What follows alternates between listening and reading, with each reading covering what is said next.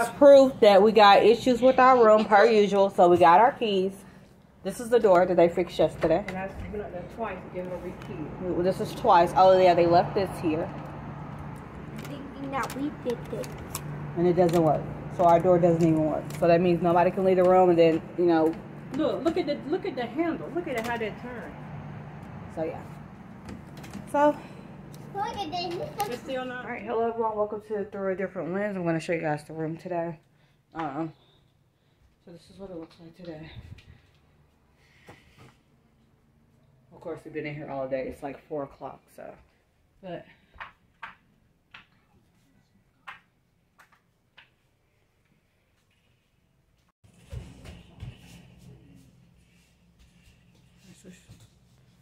just got to take our trash out. We've been here all day eating and stuff. So that's what that is. Okay. So, a quick update from yesterday's video. I'm not to rant on and on. So, um, so yesterday I received this paper. I talked about this in my rant yesterday. Um, so I wasn't, you know, I was very emotional yesterday, very upset when I received this. So I probably didn't make any sense in that video. Um, but so we received this as um, it's a notice of immediate cleanup, 24 hours. So you have 24 hours to clean up your room. The next day they inspect it and they could decide based on the inspection whether to kick you out or let you stay. Okay. So the problem with this is we usually generally get these letters as retaliation for whatever reason. Um, we reported this company to corporate, and corporate did warn us that, you know, while you guys are still there, they are going to try to intimidate and they're going to try to um, get up under your skin and things like that. They're going to try to get you out. So we know that.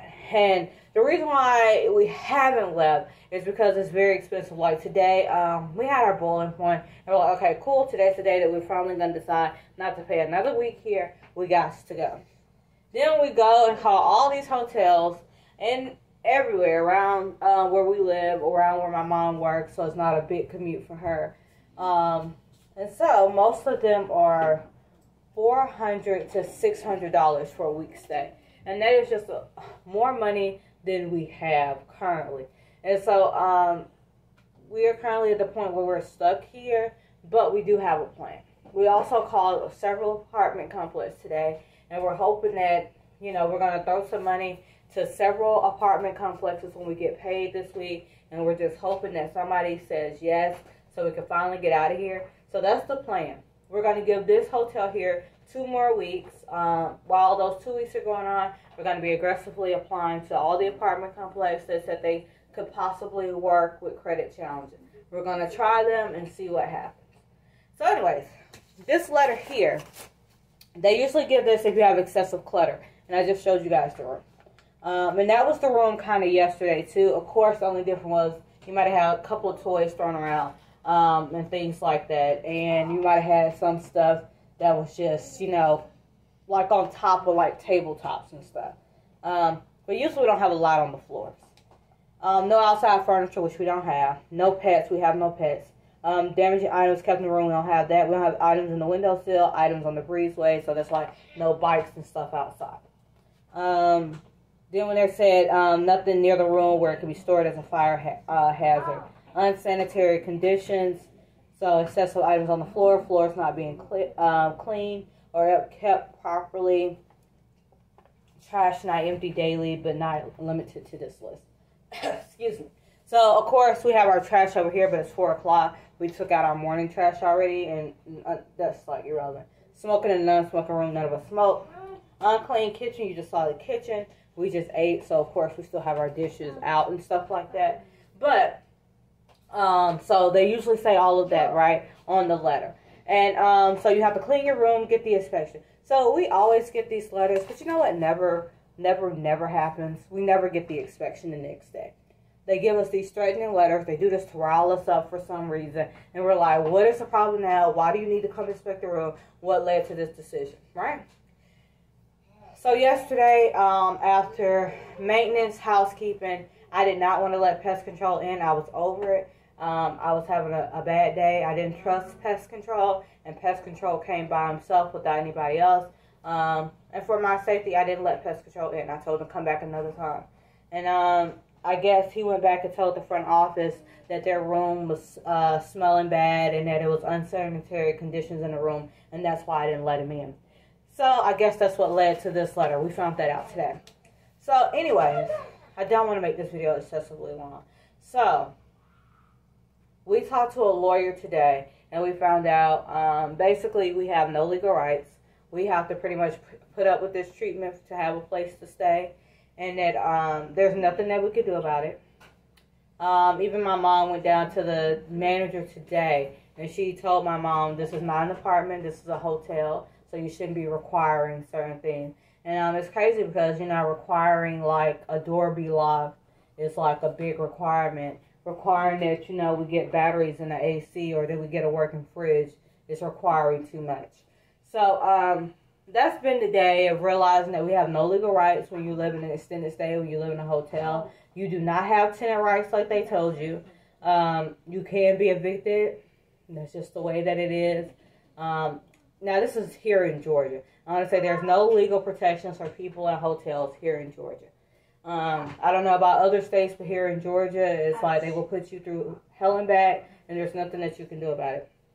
And so when we talked to the lawyer about all the issues that we had with the harassment and stuff like that, so um, in her opinion, she felt like it was us, you know, kind of um, doing things and not letting people in the room and stuff and not abiding by a contract. Mind you, we have no contract with nobody.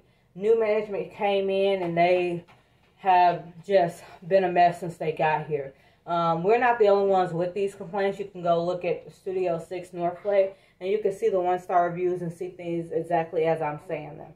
So, um, so we pretty much have no legal nothing. So like I said, I'm going to give this room two more weeks of my time, and we're going to have to try to put some money together so we can get um, another hotel.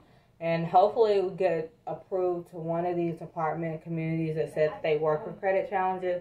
That's all that I can really hope for right now because we're in a position where uh, we're either stuck here putting up with this or you're going to be dishing out way more money than you have. And then you'll be dishing out way more money that you uh, that you don't really have, and you're going to be in the worst financial fix you've ever been in your life. So it's like you really have to think critically when it comes to these issues. You can't think based on like all your anger and emotions and stuff like that. So there was that today. So it's just um, I knew we had no legal protections. I I knew this, but to actually hear it from a lawyer, like we talked with her for 20 minutes, explaining her all the things that we went through and pretty much it's like sucks for you, but they're in their legal rights to do whatever they want to do. And so with this letter here, uh, if room is not cleaned up proper by this date, you must check out with no refund and no deposit return. And so that was my biggest thing too. I'm like, man, at any notice, this hotel can kick us out. They won't return us any of our money, and we will have to go, and we have no legal rights whatsoever. So um, I just wanted to put this video out there because I thought that was very interesting what I learned today that we have no legal rights here in Georgia when it comes to hotels and extended stays. We're not tenants. We're just merely guests. and that's it. You're not in a tenant landlord situation, anything like that. They're working on trying to get that, but right now you're not. You're not a tenant. So if anybody tells you that, um, and you're supposed to be like after 90 days, you're supposed to be considered a tenant with hotels. Um, but that's not the case. And um, and they don't want to be referred to as such. You're just this is not a tenant landlord. This is a guest situation, and you have no protection. You can't be kicked out at any notice, and they don't have to provide any notice or anything like that. They don't have to give you back your money. None of that. So now learning that, I know where I have to go with the situation. I'll just uh, make sure to record my transactions from here on out and um, not going to put up with it. You know, I'm going to give them two more weeks, um, get our lives together, and we're to probably be leaving this room soon because I'm not to keep putting up with this and paying nearly $400 a week to, you know, put up with madness and then saying I have to put up with it because you're merely a guest and you're not a tenant. So that was something interesting I found out today. Um, hope you guys enjoyed watching today's video. Um, don't forget to like, comment, and subscribe. I'll see you guys in another video. Bye.